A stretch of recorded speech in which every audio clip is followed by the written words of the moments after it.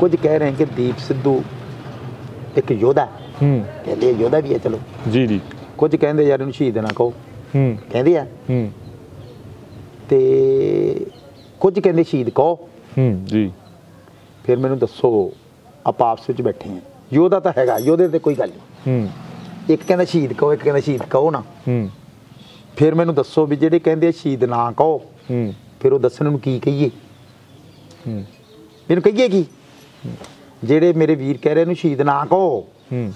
ਉਹ ਕਹੀਏ ਕੀ? ਹੂੰ। ਦੱਸਣ ਤਾਂ ਸਹੀ ਫਿਰ ਅਗਲੀ ਗੱਲ ਤਾਂ ਦੱਸੋ ਵੀ ਇਹਨੂੰ ਆ ਕਹਿ ਦਿਓ। ਹੂੰ। ਤੇ ਜਿਹੜੇ ਸ਼ਹੀਦ ਕਹਿੰਦੇ ਸ਼ਹੀਦ ਆ ਹੂੰ। ਉਹ ਵੀ ਕਲੀਅਰ ਕਰਨ। ਹੂੰ। ਉਹ ਤਾਂ ਠੀਕ ਕਹਿ ਰਹੇ ਨੇ। ਹੂੰ। ਕਲੀਅਰ ਤਾਂ ਹੋਣੀ ਚਾਹੀਦੀ ਗੱਲ। ਮੈਂ ਤੁਹਾਨੂੰ ਇਹੀ ਗੱਲ ਕਹਿਣਾ ਹੈ ਵੀ ਇੱਕ ਨੌਜਵਾਨ ਜਿਹੜਾ ਬਲਜੀਤ ਸਿੰਘ ਮਚਾਕੀ ਸੀ ਜੀ। ਉਹ ਪੁਲਿਸ ਨੇ ਫੜ ਲਿਆਂਦਾ। ਦਿੱਲੀ 에ਅਰਪੋਰਟ ਤੋਂ ਤੇ ਸੀਆਈ ਸਟਾਫ ਚ ਆ ਕੇ ਫਰੀਦਕੋਟ ਉਹਦੇ ਸੱਪ ਲੜ ਕੇ ਮਰਾ ਨੂੰ ਕਰਤਾ। ਹੁਣ ਸ਼ਹੀਦ ਵੀ ਸੱਪ ਲੜ ਕੇ ਹੋਇਆ ਨਾ ਉਹ ਲੜਿਆ ਤਾਂ ਨਹੀਂ। ਕੁਝ ਕਹਿੰਦੇ ਰਨ ਚ ਜੂਝ ਕੇ ਮਰੇ। ਸ਼ਹੀਦੀ ਦਾ ਵੀ ਇੱਕ ਸਿਸਟਮ ਆ ਯਾਰ ਸ਼ਹੀਦੀ ਦਾ ਇੱਕ ਪੈਟਰਨ ਹੈ।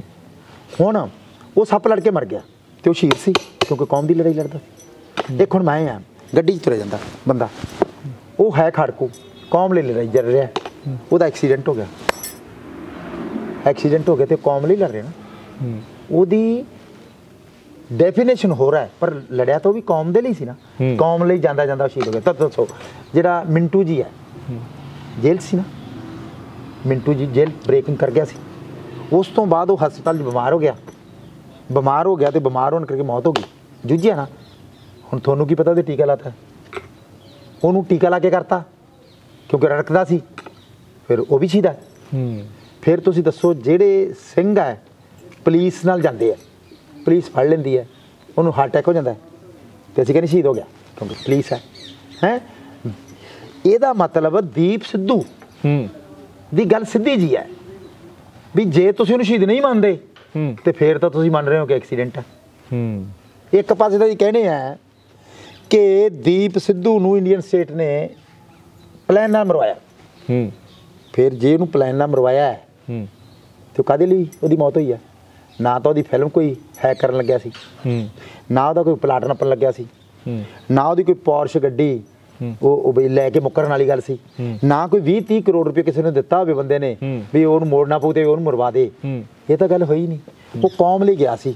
ਕੌਮ ਲਈ ਮਾਨ ਸਾਹਿਬ ਕੋਲੇ ਆ ਰਿਹਾ ਸੀ। 17 ਦਿਨ ਨੂੰ ਮੇਰੇ ਕੋਲੇ ਆਉਣਾ ਸੀ। ਫਿਰ ਆਉਣਾ ਪ੍ਰੋਫੈਸਰ ਮਹਿੰਦਰਪਾਲ ਕੋਲੇ ਕੱਟੂ ਜੀ ਕੋਲੇ ਜਾਣਾ ਸੀਗਾ। ਫਿਰ ਉਸ ਤੋਂ ਬਾਅਦ ਅਮਾਨ ਸਿੰਘ ਮਾਨ ਕੋਲੇ ਜਾਣਾ ਸੀ। ਮੈਨੂੰ ਇਹ ਵੀ ਪਤਾ ਲੱਗਿਆ ਫਿਰ ਬਲੇਰ ਸਾਹਿਬ ਕੋਲੇ ਵੀ ਜਾਣਾ ਸੀ ਵੀ ਦੋ ਦੋ ਸਾਡੇ ਲਈ ਦੋ ਥਾਂ ਤੇ ਆਉਣਾ ਸੀ। ਹੂੰ। ਤੇ ਫਿਰ ਉਹ ਆਉਂਦਾ ਆਉਂਦਾ ਇੰਡੀਅਨ ਸਟੇਟ ਨੇ ਜੇ ਇੱਕ ਪਲਾਨਾ ਮਾਰਤਾ ਫਿਰ ਤਾਂ ਸਿੱਧੀ ਜੀ ਗੱਲ ਆ, ਉਹ ਸ਼ਹੀਦ ਹੀ ਹੈ। ਇਸ ਕਰਕੇ ਉਹਨੂੰ ਸ਼ਹੀਦ ਮੰਨਣਾ ਚਾਹੀਦਾ ਹੈ। ਉਹ ਸ਼ਹੀਦ ਹੈ ਸ਼ਹੀਦ ਹੈ ਸ਼ਹੀਦ ਹੈ। ਤੇ ਜੇ ਤੁਸੀਂ ਨਹੀਂ ਮੰਨੋਗੇ ਫਿਰ ਤਾਂ ਤੁਸੀਂ ਟੇਢੇ ਢੰਗ ਦੇ ਨਾਲ ਹੂੰ। ਇੰਡੀਅਨ ਸਟੇਟ ਦੀ ਮਦਦ ਕਰਕੇ ਕੀ ਕਹੋਗੇ?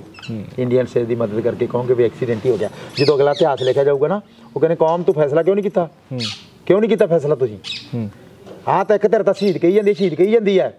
ਤੇ ਤੁਸੀਂ ਕੌਮ ਨੇ ਫੈਸਲਾ ਨਹੀਂ ਕੀਤਾ। ਫਿਰ ਉਹ ਕਹਿਣਗੇ ਵੀ ਤੁਹਾਡੇ ਕੌਮ ਦੇ ਰਾ- ਆਗੂਆਂ ਨੇ ਕੋਈ ਫੈਸਲਾ ਨਹੀਂ ਕੀਤਾ। ਇਸ ਕਰਕੇ ਉਹ ਐਕਸੀਡੈਂਟ ਦੀ ਮੌਤ ਹੋਈ ਹੈ। ਇਹਨੂੰ ਇਹਦੀ ਜਾਨ ਜਿਹੜੀ ਹੈ ਰੋਲਣਾ ਚਾਹੁੰਦੇ ਆ। ਇਹਨਾਂ ਦੀ ਮਿੱਟੀ ਰੋਲ ਕੇ ਕਿ ਇੰਨੀ ਵੱਡੀ ਪ੍ਰਸਿੱਧੀ ਮਿਲੀ ਹੈ। ਯਾਰ ਪ੍ਰਸਿੱਧੀ ਕਿਹੜੀ ਗੱਲ ਹੈ ਤੇ ਪੂਰਵ ਕਰਮਾਂ ਦੀ ਗੱਲ ਸੱਚ ਨੂੰ ਸੱਚ ਕਹੋ।